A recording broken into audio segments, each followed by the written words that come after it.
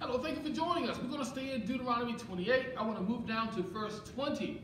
We've been talking for the last couple of weeks about all the blessings that come from the Lord. But sometimes people might decide to go their own way. I, as a minister of the gospel, want to make sure you understand. I want to make sure I understand. I want to make sure all of us understand what happens when we go our own way.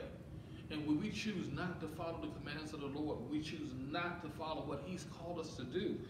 And, and Deuteronomy 28, verse 20 says this The Lord Himself will send on you curses, confusion, and frustration in everything you do until at last you are completely destroyed for doing evil and abandoning me. The Lord is saying He will take His hands off of us. If we go our own way, he lets us go our own way. But trust me, these are the things that are waiting for us. Confusion, frustration. You ever start something and you couldn't finish it?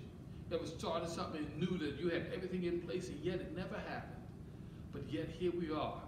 Jesus is saying, just follow the commands. Our Lord tells us to follow the commands and get the blessings. He's, he's imploring us. He's telling us, don't, don't go our own way.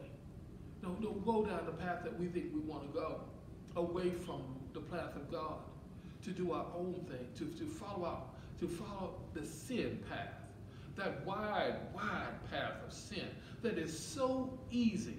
It is so easy to, to fall into sin and stay there. Don't drown in the mud puddles of sin. It's okay, turn around, get up, step out, because the Lord is waiting. All we have to do is repent. But I want us in 2024 to get the blessings and not the curses of the Lord. And we can do it just by following his commands. Thank you for joining us. We'll see you next time.